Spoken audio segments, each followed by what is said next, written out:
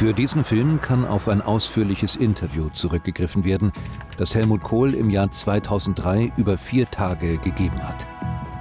Viele Passagen sind bislang nicht veröffentlicht. Auch über die Spendenaffäre von 1999 hat Helmut Kohl damals gesprochen.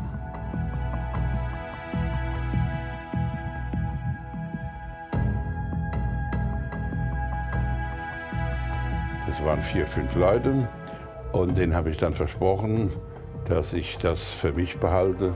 Vier oder fünf? Helmut Kohl wirkte damals auffällig ungenau.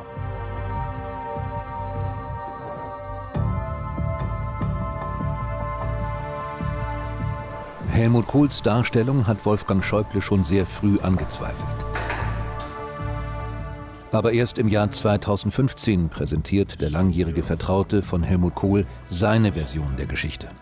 Wir waren die Spender von Helmut Kohl. Es gibt keine. Es gibt keine. Ja. Wieso? Ja, weil es aus der Zeit von Flick schwarze Kassen gab. Schwarze Kassen? Flick? Es gibt Dokumente, die den Aufstieg und die Kanzlerschaft von Helmut Kohl in einem anderen Licht erscheinen lassen. Für diesen Film liest ein Schauspieler aus diesen Dokumenten etwa Briefe und Aktenvermerke vor. Viele von ihnen wurden von Staatsanwälten sichergestellt. Wir haben ihm allen Dreck und Scheißkram vom Halse gehalten. Wir haben ihn aus jedem Feuer herausgeholt. Ich habe für ihn gelogen, damit er Kanzler bleiben konnte.